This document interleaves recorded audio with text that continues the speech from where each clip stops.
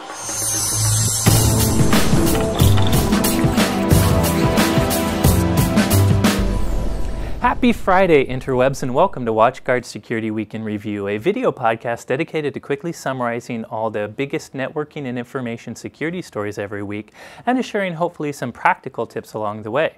I'm your host and all around security geek Corey Nachreiner, and this is the episode for the week starting March 23rd, 2015. Why don't we jump right in by recapping this week's daily episodes? Today I'm covering a Twitch security breach. You may have heard of Twitch. It's a popular video game related video streaming site that Amazon recently acquired for around $1 billion. Well, today in a Twitch blog post, they said they discovered some sort of unauthorized account access, and as a result, they've reset all the passwords for their entire site, as well as all the key streams and all the YouTube and Twitter connections with Twitch. So if you're a Twitch user, you'll you'll definitely have to go and reset your account on Twitch. Now, they don't really share any details. They don't share how many users are really affected, if bad guys have stolen their password database, or what's going on.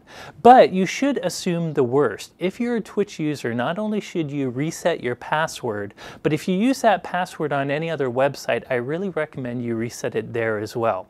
And this brings us to our normal password handling practices.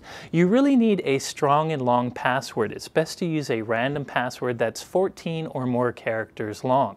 You also should use a different password on every single website you go to. Now, if this sounds hard, it can be if you're trying to do it yourself. But my number one recommendation is use a password manager. A password manager makes it very easy for you to use very strong passwords everywhere, so I highly recommend them. Today I'm talking about BitWhisper, which is a heat-based back channel. This comes from research from Ben Ben Gurion Cybersecurity Labs in Israel. And it's essentially research on how you can use heat as a communication back channel. Basically, the researchers set up two computers, and modern computers have highly sensitive thermal sensors, and they're designed basically to check to make sure that your computer isn't overheating when it's doing heavy computation. Anyways, the researchers found with the proper software, one computer can send communications to another computer by fluctuating its heat in a pre-assigned way so that the sensor in the other computer picks up on these changes and thus picks up on the communication. Now, of course, for this sort of attack to work, both computers need specially installed malware on them. On top of that, the computers have to be 15 inches close to each other or less in order for the sensors to pick up the heat fluctuations. And finally, you can only send about 8 bits of data per hour with this particular communication back channel, which is a very small amount of information. Nonetheless, the researchers are going to take this to a security conference and talk about how you can use this back channel in an air-gap network to send communications from a computer that may not have a network connection. Now, I do find this to be a very fascinating communication technique, but I don't think it's very practical in the real world. I don't think you'll see a lot of attackers use it. It needs malware to be pre-installed and there's more efficient ways to actually uh, set up back channels for communication. But if you are interested in this sort of fascinating computer trickery, I highly recommend you look up Tempest, which in my opinion is much more interesting and concerning. Tempest is basically the project where governments were trying to figure out how they could snoop on electrical devices using emanations, whether they be electromagnetic emanations radio frequencies, or noise emanations. And a great example of this is something called Van Eck phreaking, where the researcher of that name found that he could actually capture the display from a CRT monitor from a distance away by actually paying attention to the electromagnetic frequencies put out by that CRT monitor.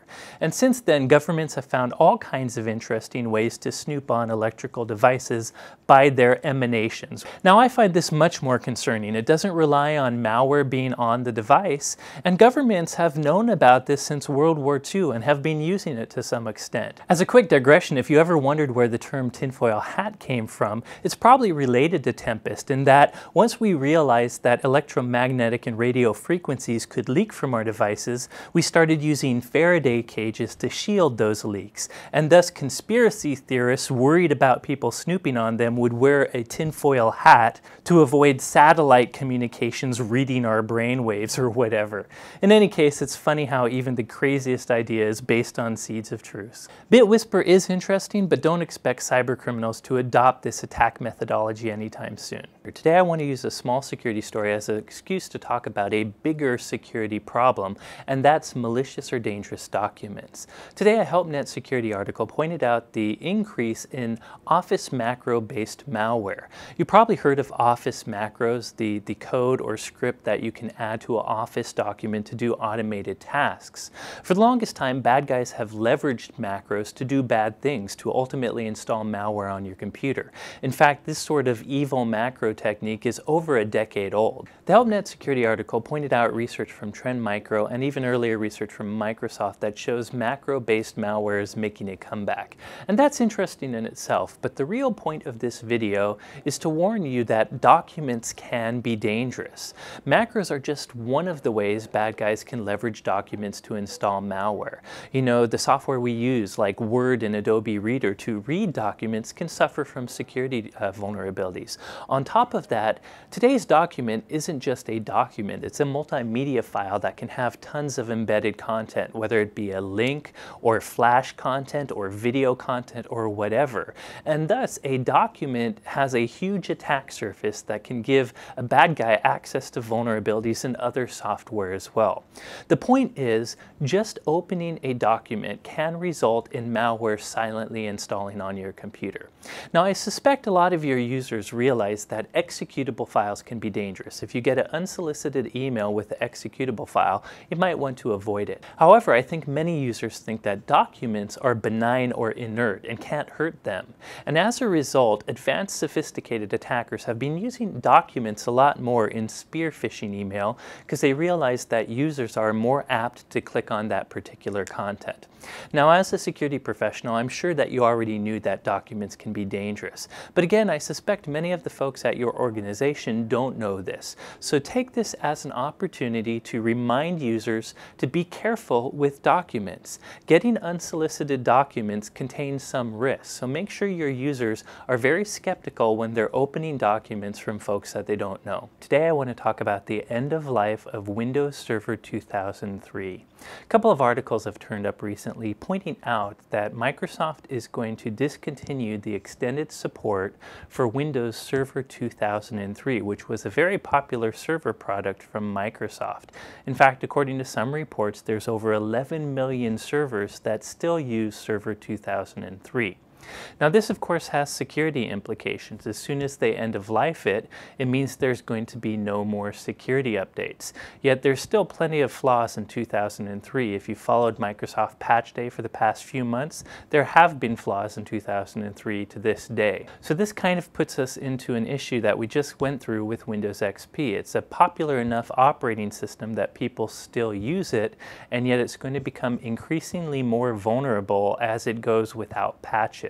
So the takeaway here is quite simple. As an administrator, if you're using Server 2003, you need to start planning your migration path if you haven't already. Server 2012 has been out for a while and works quite well. Now do know that security vendors like WatchGuard are not going to abandon you. You know, as bad guys still make attacks that work against a Windows Server 2003 or malware that happens to work on Windows Server 2003, we're not going to discontinue creating IP IPS signatures or antivirus signatures that will catch those attacks and malware. So having a security appliance, having security controls can help mitigate this particular risk. That said, you always want to keep servers patched and you have compliance to think about too, which does say your servers have to be up to date. So if you haven't thought about Windows Server 2003 migration, start thinking about it now. Today I'm talking about Cisco's latest router patch. During the week, Cisco released an advisory warning about three vulnerabilities affecting IOS, the popular operating system that they use on their routers and switches. Basically, it suffers from three vulnerabilities having to do with autonomic networking infrastructure, or ANI. And this is essentially a feature that allows uh, routers to connect to a pre-configured domain so that network administrators can easily manage them. Two of the vulnerabilities in ANI are basically DOS vulnerabilities, so bad guys can send packets that will disrupt your router. However, one's a little bit worse. Basically, by sending a special AN message to your router, a bad guy might be able to make it join a malicious uh, domain and thus have limited configuration access to that router. So long story short, if you're a Cisco IOS user that has this ANI feature enabled, you definitely need to go get this patch. Cisco gives it a CVSS rating or a severity score of 9 out of 10, so it's pretty important to patch your routers. That's all I have for you this week. I hope you found it interesting and educational. As always, there were a ton of other stories out there, including a couple of researchers finding new weaknesses in RC4, which is one of the popular encryption ciphers used by SSL TLS. So if you're interested in that or any other security stories, be sure to check out our blog at blog.watchguard.com or watchguardsecuritycenter.com. That's where I post this video, and in that post I have a reference section with links to all kinds of other interesting stories stories as well. Also, you can follow me on Twitter for other security news, or you can follow WatchGuard at WatchGuard Tech. And don't forget to give my YouTube channel a view as well. That's it for today. As always, thank you for watching, and here at WatchGuard, we're rooting for you.